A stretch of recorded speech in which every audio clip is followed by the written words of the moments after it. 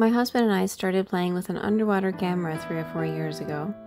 It was a revelation for me to see how things looked under the surface of the ocean.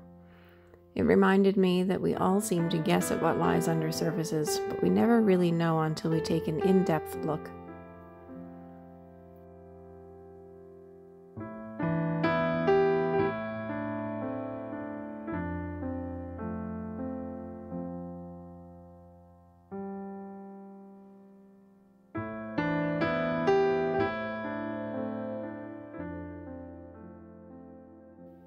My own mental health was in poor shape over a couple of years recently, and it was not until I came to the conclusion that I needed help and started seeing a counselor that this idea of not being able to see beyond what we are allowed to see came to me.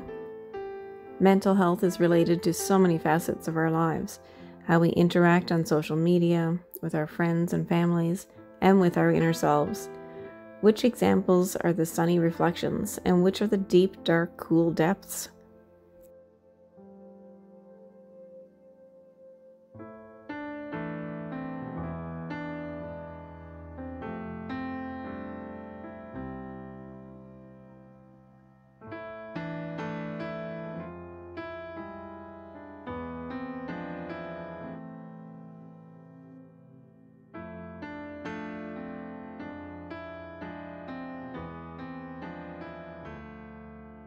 It is so exciting to see what is under the surface.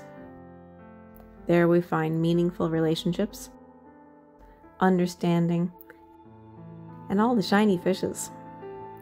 Few times we've noticed schools of fish swimming around in the cove just here outside the studio, visibly changing the texture of the water surface as they swim along. We filmed them, but couldn't get a really clear picture. Visiting fishermen uh, around the same time called them smudge herring. When I looked up the term, I realized that this would come from our English ancestry, with the word smudge having origins in the curing of herring by smoke. Funny that they would be called smudge herring before they're smoked.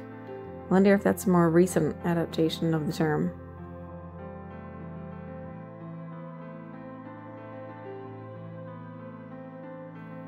As a part of my Underneath series of works, these smudge herring images are really feeling great to make right now. I'm in the midst of a very happy time in my life, and I'm full of creative energy. I want to just keep on swimming while the creative juices are flowing.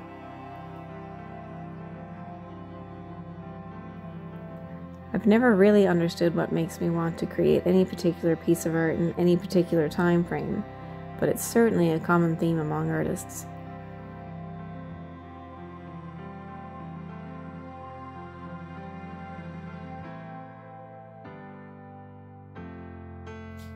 This 2 foot by 8 foot painting is number 10 in a series of much smaller pieces of smudge herring imagery.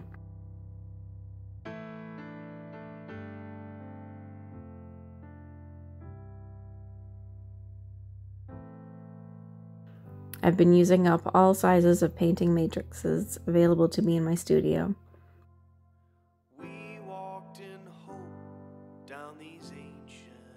Ranging from 4 by 4 inches to this half sheet of plywood, which had to be specially cut to fulfill my request when the size and shape popped into my head.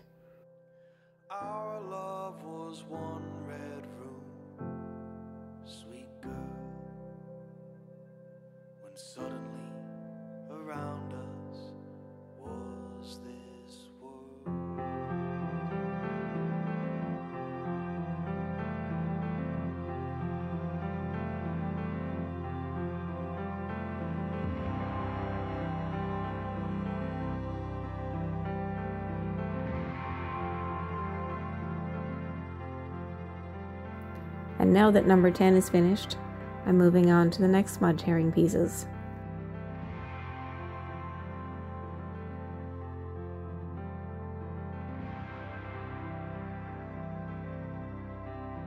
I'll keep painting more, as well as other underwater imagery that I am thinking of flatfish, capelin, and jellyfish.